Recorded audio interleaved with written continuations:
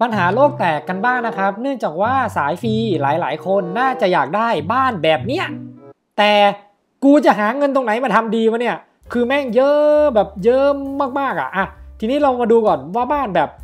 อันนี้คือเรียกว่าแบบขั้นสุดครับขั้นสุดแบบเนี้ยเราจะสามารถทำได้ไหมอันนี้ผมวงเล็บว่าสำหรับสายฟรีก่อนนะครับเนื่องจากว่าสายเติมเนี่ยเขาทำได้อยู่แล้วในมิต้นไม้อะไรอย่างเงี้ยเห็นปะเอาให้ดูแบบรอบๆนะ จะไม่ดูถึงข้างในนะไม่งั้นเดี๋ยวคลิปมันจะ ยาวเกินไปนะโอเค อันนี้เอาให้ดูแค่ประมาณนี้แบบคร่าวๆ ที่เหลือคุณสามารถมาดูเองได้อะอันนี้เดี๋ยวผมบอกก่อนที่จะบอกละกันนะครับว่าสายฟรีทำได้ไหมคำตอบผมให้ได้เลยตอนนี้คือได้ครับ แต่ว่าทีเนี้ยมันมีปัญหานิดนึงก็คือว่าคุณจะต้องเอาในส่วนของทองเนี่ยมาซื้อซึ่งผมได้คำนวณให้คร่าวๆแล้ว แต่ก่อนอื่นเอาให้ดูก่อน อย่างแรกเลยคือมาในบ้านนะครับ จากนั้นแตะตรงกลางจอตรงนี้เลยที่เป็นรูปค้อน และข้างบนข้างบนเห็นไหมทำเพจบ้านหลังแตะเข้ามาเนี่ยลงล่างสุดครับ แล้วทีเนี้ยอันที่สองครับ อันรองจากอันล่างสุดอะหรือจะเป็นอันนี้ก็ได้คือแบบไหนมันก็ดูดี นั่นเองนะ เอาละทีนี้เดี๋ยวเรามาต่อกันบ้างว่าสายฟรีอะจะสามารถทำแบบนี้ได้ไหมคำตอบผมให้ไปเลยว่าได้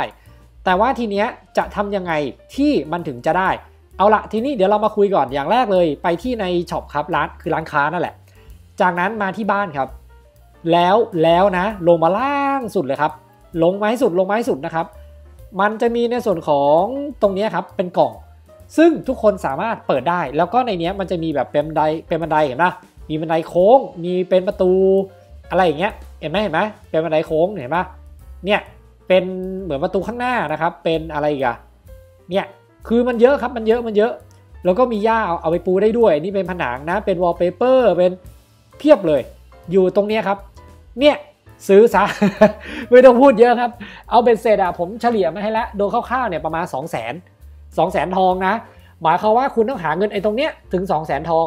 แต่ถ้าคนเติมเนี่ยคือมันได้ง่าย ๆอยู่แล้ว แต่ว่าเราไม่ได้เติมไงดังนั้นสิ่งที่คุณจะต้องทำนะครับ เป็นไปได้มากที่สุดเลยเนี่ยคือหาของวัตถุดิบพวกเนี้ยเอามาขายให้เรียบ อย่างส่วนตัวเนี่ยตอนนี้ผมจริงๆอะได้น่าจะเกือบแสนแล้วล่ะ แต่ผมคงไม่ถึงแล้วล่ะทำไมนะครับ อย่างแรกคือผมเอาไปสร้างบ้าน อันนี้ชัดเจนนะผมสร้างบ้านน่าจะหมดอยู่สามหมื่นมั้งประมาณนะประมาณเฉลี่ยนะครับ เพราะว่าบางคนอาจจะเฮ้ยทำไมสามหมื่นเพราะว่าผมเอาอ่าอะไรนะ ผมมาซื้อของครับเนี่ยเนี่ยแล้วผมมาซื้อไปที่วัสดุเนี่ย แล้วผมก็ซื้อนะครับ คือผมคือผมซื้ออะว่าง่ายๆเถอะ ผมซื้อวัตถุดิบเพื่อเอามาทำอย่างที่สองนะครับทำไมผมไม่ถึงดูที่รถนะครับ ดูนะ ชัดเจนนะ ครบทุกอย่างแล้วครับ ตอนนี้ขายแค่สูตรครับ สูตรลับยังไง ใช้ทองซื้ออีก 5 0,000ครับ ชัดเจนนะเนี่ยเนี่ยเนี่ยแต่ว่ามันมีค่าชื่อเสียงของพันธมิตรด้วยนะที่เราจะต้องเก็บเพิ่มขึ้นก่อนนะ ซึ่งตอนนี้มันยังไม่ถึงเดี๋ยวผมขอไปเก็บเพิ่มละกัน แต่โดยเบื้องต้นเนี่ยเอาง่ายๆว่าผมมีวัตถุดิบในการทำในส่วนของรถแล้วคือทุกอย่างคือพร้อมอะทางบ้านและรถเอาง่ายๆว่าล็อตนี้ทั้งหมดน่าจะ 80,000 โดยเฉลี่ย 80,000นะหายเรียบครับ แต่ว่าทีเนี้ยที่ผมอยากบอกต่อคือ ไม้ที่ซื้อขายและบวกลบ 80,000 ดูนะครับหมายความว่าตอนนี้ผมจะมีอยู่ขั้นต่ำประมาณแสนสองซึ่งเราสามารถเอาเงินก้อนเนี้ยไปซื้อในส่วนของร้านค้าได้ ชัดเจนไหมครับเนี่ยร้านร้านค้าบ้านตรงเนี้ยคุณซื้อไปเลยครับ อะไรที่มันเป็นทองซื้อได้อะซื้อได้เลยนะ ซึ่งมันเป็นแบบแปนนะครับเนี่ยแล้วก็มีในส่วนของสีบ้านด้วยเนี่ยหลังจากเสร็จเดี๋ยวมันเดี๋ยวเราก็ต้องทำอยู่แล้วผมผมเลยตีแบบ น่าจะ2 0 0แสนนะอะโดยเฉลี่ยคร่าวๆเบื้องต้นเนี่ยแล้วมีบันไดบ้านอะไรอย่างเงี้ยครับเห็นปะชัดเจนนะชัดเจนนะเนี่ยแล้วก็มีลายแบบอย่างนี้ เอาไว้เคลียร์นะครับ หมายความว่าอ่าคนไม่เติมสามารถทำได้ ซึ่งตัวเกมผมต้องขอชมจริง ๆ นะ ว่ามันออกแบบมาเพื่อสำหรับคนมีเงินและคนไม่มีเงิน แต่คนไม่มีเงินจะต้องขยันหน่อยแล้วกันเนาะส่วนสิ่งที่คุณจะต้องอสังเกตมากที่สุดคือมาในส่วนของการแปรรูป อันนี้คือที่คุณต้องทำนะครับหมายความว่า ต้องเอาให้เรียบ อย่างตอนนี้โดยเบื้องต้นเนี่ยตัวเกมจะเฉลี่ยนะครับ อันบนเนี่ยวันละ 400รีนะ อันล่างคือ 200 คุณจะต้องเก็บให้ได้อย่างนี้ทุกวันและใช้ทุกวันครับ อย่าให้เหลือ ส่วนถ้าไม่มีอะไรทำแล้วไปเก็บเกินเลยก็ได้ เพราะมาอีกวันรุ่งขึ้น คุณก็จะสามารถทำวัตถุดิบต่อได้เลย และมีเพิ่มเติมนะครับ ก่อนที่จะจบคลิปอยากบอกเพิ่ม คือว่ามาในส่วนของอเมืองเหมืองเหมืองเหมืองพูดผิดครับ แล้วทีเนี้ยเหมืองเนี้ยมันจะเวล 50 หมายความว่าไอตอนนี้อย่างวัตถุดิบตอนนี้ที่เราใช้กันเนี่ยมันเริ่มราคาลดแล้วเนาะเพราะว่าคนเริ่มเก็บมาแล้ว อย่างที่ผมเคยทำคลิปบอกไปแล้วเป็นคลิปเตือน ว่าให้รีบเก็บรีบขายรีบทำนะครับพอหลังจากที่ผ่านไปสักระยะหนึ่งเนี่ยเดี๋ยวเราจะ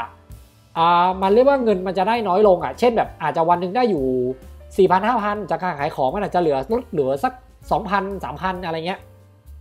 แต่ว่าคุณจะมีโอกาสในการแก้ตัว โดยนะครับมาในอันนี้มันแบบที่เลเวล 50 สิ่งที่คุณจะต้องทำนะครับ พอคุณเลเวล 50เท่ามันมันเท่ากันทุกคนอยู่แล้วใช่ป่ะพอถึงเมื่อไหร่ปั๊บเนี่ยรีบเก็บวัตถุดิบ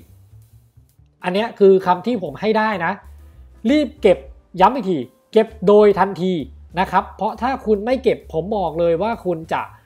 ขายของไม่ทัน พอไม่ทันแล้วเนี่ยคุณเรียกง่าย ๆ ว่าจะเสียผลประโยชน์ อันนี้เป็นอีกทางหนึ่งที่คุณจะได้เงิน นะครับแล้วก็ไอ้เงินก้อนนี้สามารถเอาไปซื้อพวกอาวุธซื้อของนู่นนี่นั่นก็ว่ากันไปเนี่ยอย่างเงี้ยผมก็ขายออกแล้วเห็นปะคือมันมันขายออกเรื่อยๆครับเนี่ยขายออกเสร็จก็มาใหม่แล้วก็ตั้งใหม่ ซึ่งตอนนี้ผมจะหมดแล้วครับคือขายแบบจะเรียกหมดแล้วอะคือจะไม่เหลือแล้วเนื่องจากเก็บมาเมื่อวานเนาะแล้วก็วันนี้ยังไม่ได้เก็บอะเดี๋ยวขับมอเตอร์ไซค์แล้วก็เอาให้ดูแล้วกันนะถือว่าเป็นการสำรวจแมปแบบคร่าวๆ อันนี้เป็นมอเตอร์ไซค์นะครับ เดี๋ยวผมเปลี่ยนอีกอีกอีกอีกทีนึงนะครับ อย่างที่บอกไปแล้วนะว่าผมจะต้องเปลี่ยนเนี่ยเห็นปะทรัพยากรเลเวล3แล้วก็ต้องการเลเวล50 นั่นเองนะครับอ่าอ่าเดี๋ยวทีนี้เราเอามาให้ดูก่อนลงเลยวุ๊บอ่าในส่วนตรงนี้ไหมเดี๋ยวผมลองเอาให้ดูนะสำหรับวัตถุดิบเอ่ออันนี้ได้ไหมไม่ได้ งั้นเอาเป็นอ่ออันนี้อันนี้เจอแล้วเจอแล้วเนี่ยเห็นปะแต่ต้องเวลถึง 50 ก่อนครับไม่งั้นเก็บไม่ได้ ชัดเจนดังนั้น วล 50 ไวๆนะครับ พอ 50 มัน 50 เท่ากันหลังจากนั้นรีบเก็บรีบทำโดยทันที ส่วนอีกนิดนึงนะครับก็คือว่าหลังจากที่เรามาในบ้านแคมป์อะเดี๋ยวมันจะมีในส่วนของการแปลรูปถูกปะถ้าเรารู้อยู่แล้วว่ามันรีวันละ 200อะหมายความว่าถ้าคุณจะเวล 50 เช่น เช่นเช่นยกตัวอย่างนะ อย่างตอนนี้ถ้าตัวเกมไปที่ตารางครับ อันนี้ผมบอกแบบเฉลี่ยไปเลยนะ หมายความว่าถ้าเลเวลสัก 45 หลังตัน45คำแนะนำคือคุณไม่ต้องย่อยแล้วนะ งงว่าคือไม่ต้องเก็บอะไรอีกแล้วอะคุณค่อยไปเก็บทีเดียวตอนเวล50เลย ซึ่งไอตอนที่แปลรูปอะมันจะ 7 วันพอดีถูกปะพอเรา 50ปั๊บค่อยไปแปลรูปตอนเวล50 ทีเดียวเลย ไม่งั้นคุณจะเสียผลประโยชน์ แทนที่จะมาทำเวล30 อยู่ ซึ่งคนเขาอาจจะไม่ใช้กันแล้วอะคุณกลับไปทำอยู่ คุณจะเสียผลประโยชน์โดยใช่เหตุนะครับอะก็หวังว่าน่าจะเป็นคำตอบแล้วก็หลาย ๆ อย่างนะหวังว่าจะเป็นประโยชน์สำหรับทุกคนและกันเนาะถ้าใครชอบก็กดไลค์กดแชร์กันได้ตามปกติเลย